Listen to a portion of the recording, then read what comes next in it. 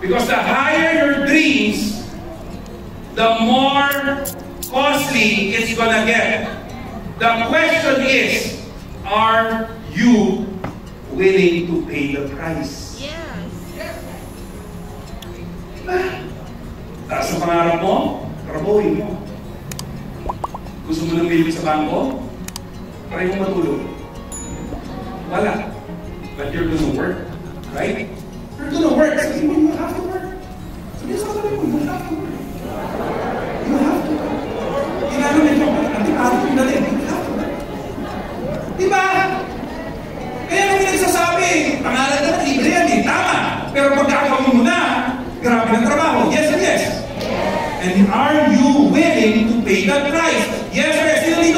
Willing to pay the price? Nasa kamay? Nasa kamay? Iba kayo kayo para sabihin, I'm willing to pay the price.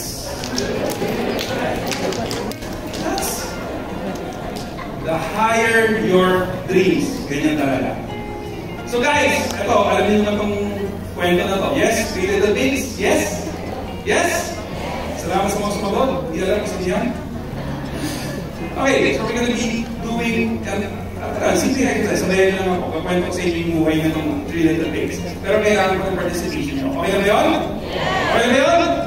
Yes! So dito sa tatlong roll ako, one, two, three, kayo yung pigs. Sasabihin nyo, oink, oink, oink, oink, oink. Okay na ba yun? Hindi nyo kailangan gumano lang. Okay. So, habang kinakwento ko, pag narinig niyo yung pig, ano sasabihin nyo? Oink, oink, oink. Salamat sa energy. Sabi ko, pigs, hindi lechon. Sabihin nyo, pag sinabing pigs, Oink, oink, oink. thank you. Okay? So, mas mas maganda-ganda naman yung energy, right? Okay. And of course, dito naman sa roll na to, one, two, kayo po, yung big, pag narinig yung big bad wolf, ang sasabihin nyo, Ow! Oh! Big bad wolf! Pigs! Going, going, going. Lechon pa rin eh, no? Huwag mo na, hindi mo na. Ay, nakay ka lang karakil. Okay? Big bad wolf! Pigs! Going, going, going. Narinig nyo?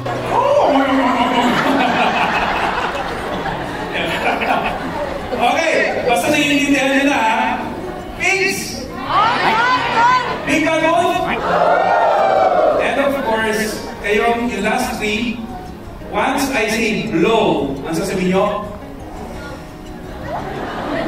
Black. Black.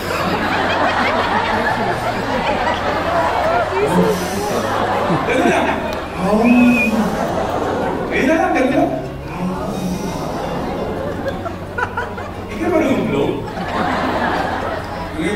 iba kinakabahan ako sa blow na ginagawa niyo. Anyway, okay.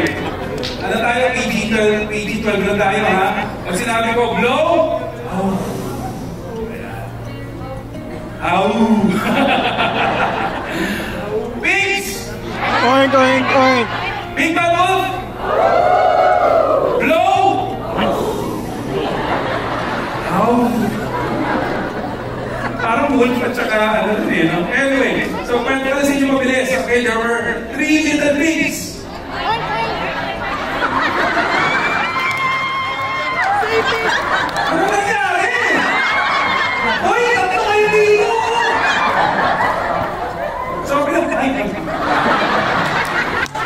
Ulit! Dali! With energy! Sabihin nyo with energy! Sabihin mo sa sabi mo, gawin natin ito with energy! Alright, go! Okay, there are three pigs!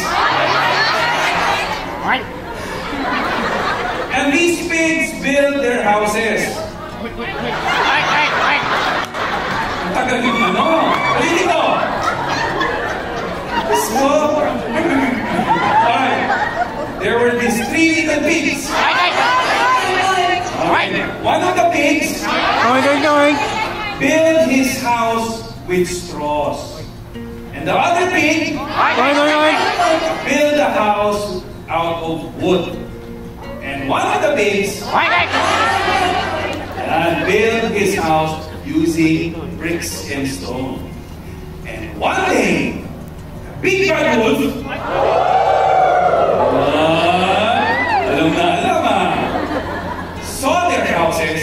and wanted to eat those things. I like, I like.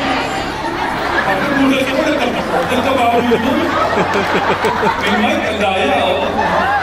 Right.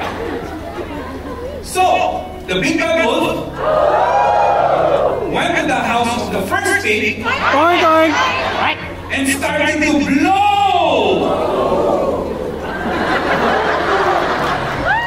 Pag-iinan mo, Alam iba, baka pag nag-rapo, tumanggal yung ano, prestige. Oh, huwag kayong mag-alala, naman eh. Ah, hindi pa po, bawal yun niya. Bumalik. anyway, so, the big bad wolf blew his house and it fell. Alright, so that's the first house. Then the big bad wolf pig Oink, oink. and he blew. And his house fell apart.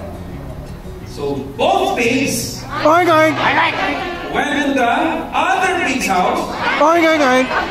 And the big bad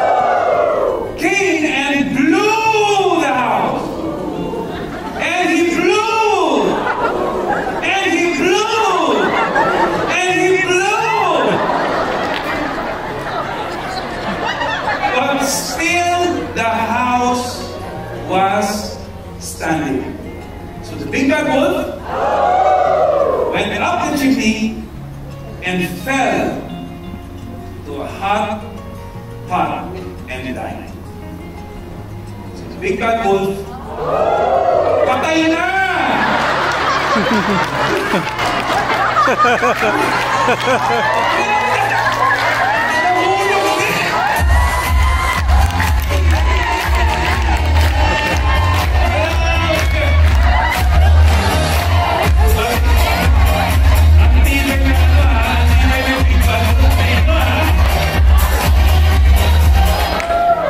the so namatay na, and the big bad wolf obviously died. Okay, tama na, patay na nga. And the three little pigs lived happily ever after. Natin. So,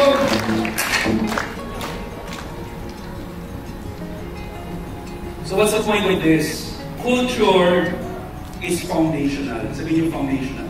Foundational. And how do you start a long-lasting culture? It will start from the people. Sabihin yung people. People.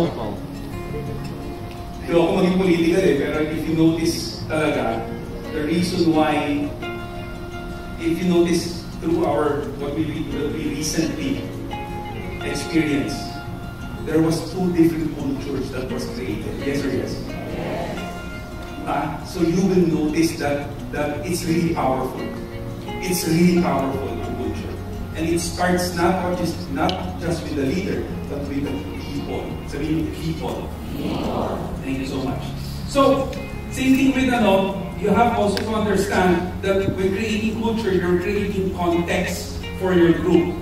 And it's very powerful, especially when you're doing real estate. You have to use the right words, sabi right words.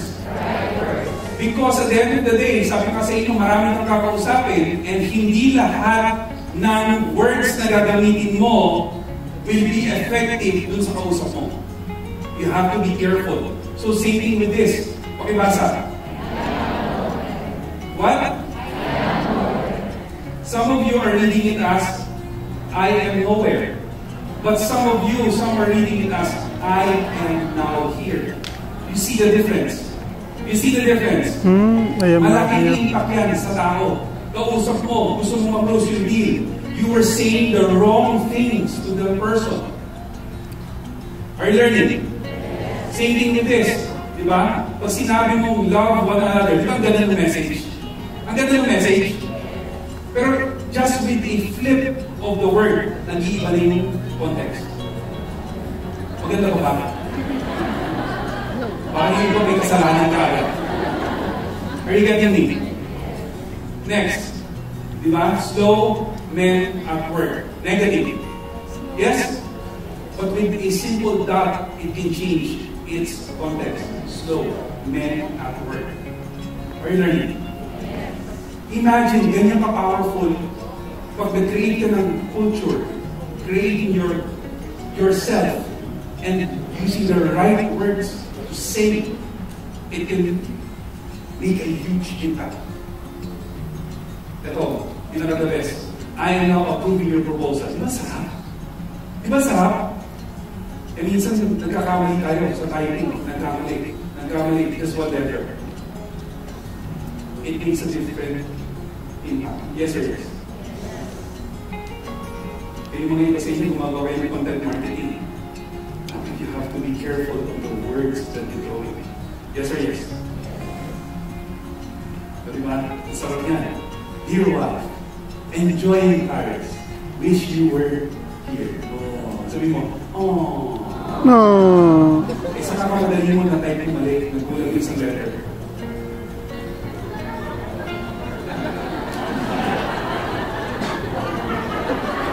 Di ba? Nagkamali, isang letter lang. Sumublay na. Wish you were her. Ito, pag narinig niyo kung ano na to, yung pag nabasa niya, a woman without her man is nothing. Di ba? Siyempre, mga lalaki, di ba? Pero with a simple twist of words, a woman without her man is nothing. Gusto mo yung ako? You see the difference? It becomes deeper. Pag sabi deeper. Deeper. Guys, ito, ewan ko kung nakakita na kayo ng ganitong picture. Pero how many of you see, what do you see in this picture? Nakatagilid na babae. How many, ah? How many of you see a woman? That's a woman. Yes. But how many of you see an old lady? See? Isa-separate yung ano, yung picture. Tingnan nyo. Yan yung babae. Ito yung matanda. So in any culture, listen to this, in any culture, you may look at things differently. Tama? But you can always, di ba? You're looking at the same thing. You can always see things differently. But you can always magkasundo pa rin. You can always work together pa rin. Yes or yes? Same thing with this. Tignan niyo po to. What do you see? Ano? Ano nakikita nyo? Nagayapan. Ano yung basa niya nakikita yung nagayapan? But this is also a dual picture. Ayan o. Actually, na, ang, this is a picture of dolphins. Mm. Kung makikita niyo po, may dolphins yan. This is a research that they did na pag pinakita mo tong picture na to sa mga 8-year-olds, hindi nila makikita yung nakayakap. Ang makikita nila yung dolphins. Ayan o, I think this is around 9 dolphins. So alam mo na kung anong iniisip Dolphin? dahil yung mga katabi mo. And to be honest, guys, ha, Klaro, yung dolphin siya, training ko, I have to be honest. Never ko pang nakikita yung yung